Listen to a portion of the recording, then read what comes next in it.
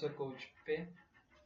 तो ये YouTube course free है ताकि कोई भी फ्रीली लर्न कर पाए। अगर आपको लगता है कि हमारे एफर्ट वर्दी हैं तो प्लीज़ इस वीडियो को लाइक और शेयर कीजिए और चैनल को सब्सक्राइब कीजिए अपकमिंग वीडियोस के लिए।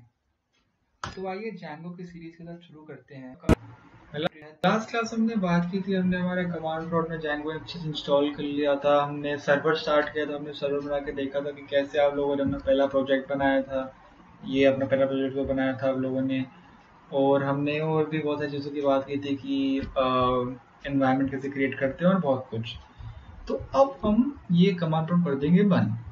हम अपना बाकी की कोडिंग भी कमांड प्रोड में कम सक, कर सकते हैं बट हम लोग एक अच्छा सा ना एडिटर चूज़ करते हैं लाइट वेट एडिटर तो हम इस पर चूज़ करेंगे विजुअल स्टूडियो कोड तो विजुअल स्टूडियो कोड इंस्टॉल कैसे करते हैं मैं आपको बताता हूँ।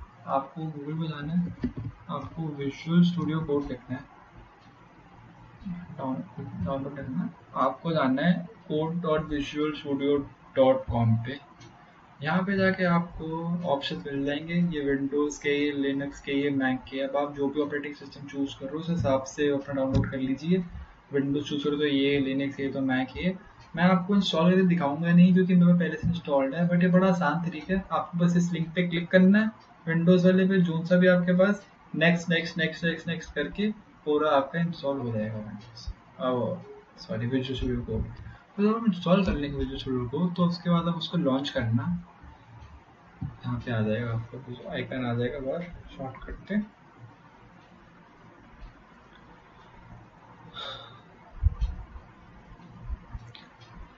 तो जब आप इंस्टॉल करोगे तो आपको ये सब दिखेगा विजुअल में। आपको न्यू फ़ाइल दिखेगी ओपन फोल्डर दिखेगा एड वर्क स्पेस फोल्डर दिखेगा। आपको क्या करना है, आपको ओपन फोल्डर के अंदर जाना है। और आपने यहाँ से पहले एक फोल्डर बनाया था एच पी यूज़र्स के अंदर जाके, जिसके अंदर आपने प्रोजेक्ट नाइन के नाम से फ़ाइल बनाई थी, उसके अंदर सारा आपका जैंगो का सामान था। तो वही प्रोजेक्ट नाइन का फोल्डर आपको यहाँ पे खोलना है। तो वो करने के लिए आपको जाना है अपने डाउनलोड्स के अंदर, आपको दिस पीसी के अंदर। दिस पीसी के अंदर आपको जाना है सी का सी ड्राइव पे, यहाँ पे जाना है आपको। उसके बाद आपको जाना है अपना यूज़र्स के अंदर, वहाँ पे आपको एचपी के अंदर, आपको प्रोजेक्ट नाइन के नाम से मिलेगा कुछ। हाँ ये आपको सिर्फ़ बाहर से प्रोजेक्ट नाइन को ओपन करना है, ठीक है? ए एन एस आर को ओपन मत करना प्रोजेक्ट नाइन को ओपन करना।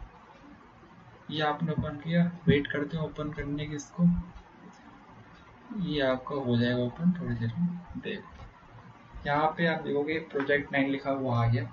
ये आपका प्रोजेक्ट है। ए एन एस आर नाम से प्रोजेक्ट है। आप इसको खोलोगे तो ये आपको दिख जाएगी सारी फाइल्स अब इन फाइल्स के बारे में हमने पहले बात की थी तो आइए अब की करते हैं। क्या आएँगे फाइल्स ये init dot P Y का होता है।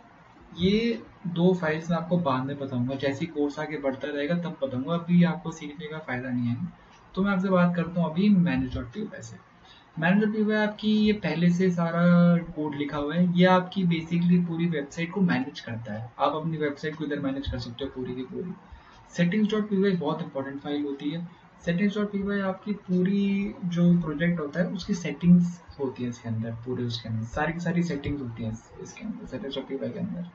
ये सेटिंग्स डॉट पी वाई यहाँ पे अभी खुल नहीं रहा, इसको एक सेकेंड फिर से वहाँ खुल गया तो ये देखोगे तो यहाँ पे ये आपका लिखा है, यहाँ पे सीक्रेट की। सीक्रेट की बेसिकली होती है कि आपकी जब आपको ये अपना प्रोजेक्ट डिप्लॉय करना आएगा वेबसाइट पे तो आप सीक्रेट की मदद से करते हो।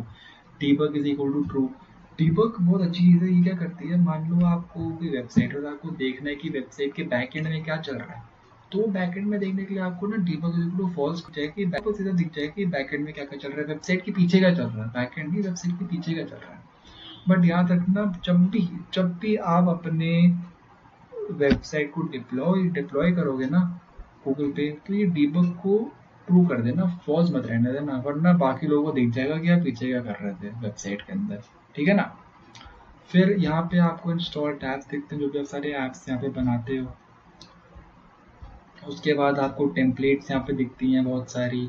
आपको अपना डेटाबेस दिखता है। डेटा आप कोई पॉइंट पे जाके अपने प्रोजेक्ट को डेटाबेस से तो करोगे कनेक्ट क्योंकि आपको मान लो यूज़र्स का जो कस्टमर होंगे, उनका सारा को इन्फॉर्मेशन चाहिए होगी, उनके कॉन्टैक्ट इन्फॉर्मेशन चाहिए होगी। तो डेटाबेस पे स्टोर करोगे। तो डेटाबेस हम यहाँ पे सीक्वल लाइट यूज़ होता है यहाँ पे डिफ़ॉल्ट डिफ़ॉल्ट से। बट आप और भी अपने डेटा भी यूज़ कर सकते हो। आप पोजोस यूज़ कर सकते हो माइसी को यूज़ कर सकते हो। बट उसके लिए मैं आपको रेकमेंड करूँगा कि आप A N S R dot coach dot com से आकर एक बार सीख लीजिए वो सारे के सारे।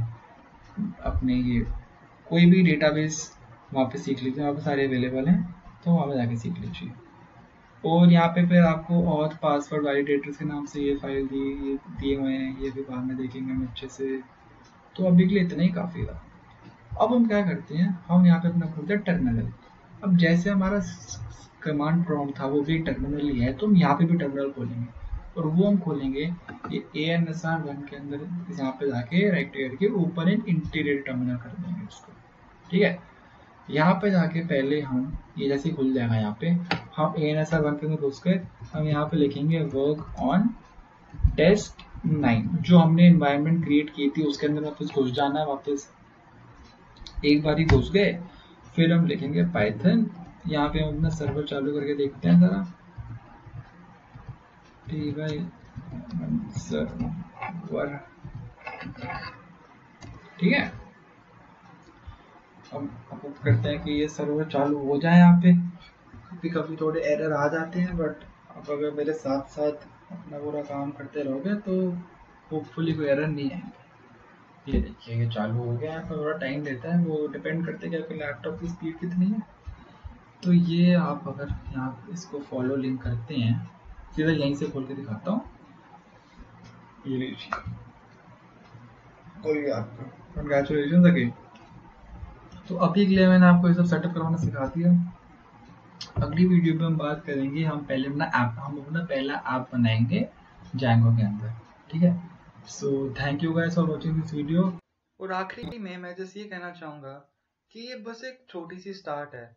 अगर आपको और लर्न करना है तो रजिस्टर कीजिए हमारे प्रीमियम लाइव क्लासेस के लिए, जहाँ पे आप हमारे साथ इंटरेक्ट कर सकते हैं और लाइव क्लासेस हमारे साथ पढ़ सकते हैं।